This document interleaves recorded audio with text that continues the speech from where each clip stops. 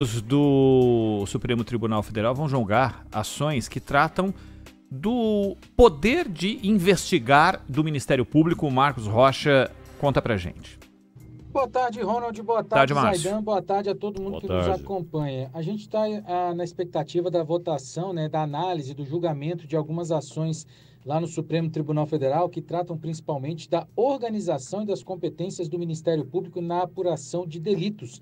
Ao todo, são oito ações que tratam do alcance e do limite da atuação direta de procuradores e promotores durante as investigações, além do que essas ações tratam também de regras internas da instituição e questionam leis federais e estaduais sobre esse assunto.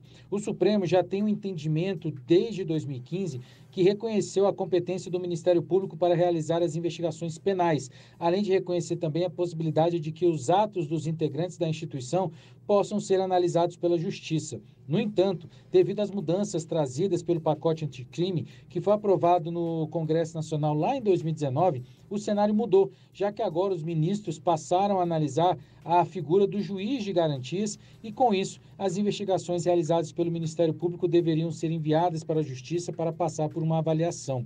Na manifestação desses processos, a Procuradoria-Geral da República defendeu a competência do Ministério Público para atuar nessa área, afirmando que a instituição precisa ter, como regra, autonomia na condução da investigação, além de defender ser possível pedir apurações contra eventuais irregularidades. Também está prevista na pauta do Supremo uma ação que questiona as regras sobre o acesso e o uso de informações sobre acidentes aéreos no Brasil nas ações judiciais. Esse caso também foi apresentado pela PGR e trata do material obtido pelas investigações feitas pelo, por militares perdão, do Sistema de Investigação e Prevenção de Acidentes Aeronáuticos. Lembrando que quando existe um acidente aéreo, são as equipes do Centro de Investigação e Prevenção de Acidentes Aeronáuticos, o CENIPA, que vão até o local para verificar as causas. Mas desde 2014, uma lei mudou a legislação determinando que as conclusões dos técnicos não seriam usadas como provas em ações na justiça. Isso que o Supremo também deve analisar nas próximas sessões. Para a gente encerrar, outro ponto que deve ser alvo das análises dos ministros é uma ação também da Procuradoria-Geral da República que trata da proteção ambiental do Pantanal. A PGR também questionou uma suposta omissão do Congresso Nacional em regulamentar um trecho da Constituição que fixa a necessidade de proteção do bioma do Pantanal e pediu que o Supremo estabeleça um prazo para que isso seja feito. Eu volto com vocês. Um abraço. Tchau, tchau. Até a próxima. Valeu, Márcio. Obrigado. É o Ministério Público sendo analisado se deve ou não tocar essas investigações adiante, Aidan. Ah, o Ministério Público tem uma importância provada e comprovada, né? E já cometeu abusos, erros, mas é um instrumento fundamental. Então é preciso com muita. Primeiro, com base na Constituição, não com base no que, no que pensam ministros, juízes, senadores, deputados. Com base na Constituição, é, definir limites, né? limites e novas possibilidades.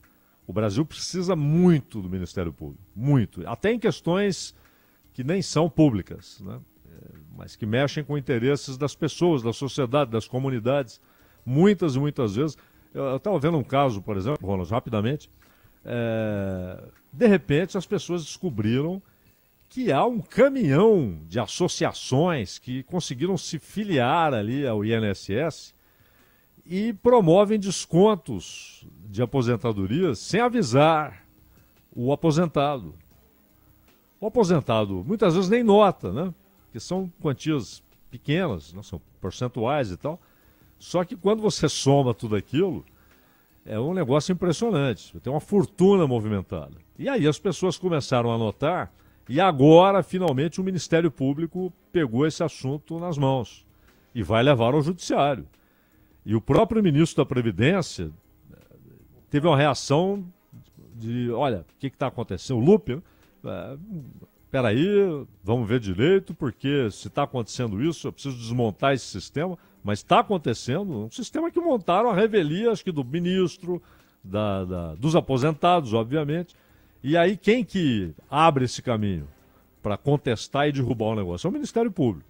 O Ministério Público tem uma função não só nas coisas públicas diretamente, mas uma função social primordial. Agora, como todo e qualquer poder, você tem de estabelecer limites e punir irregularidades. 13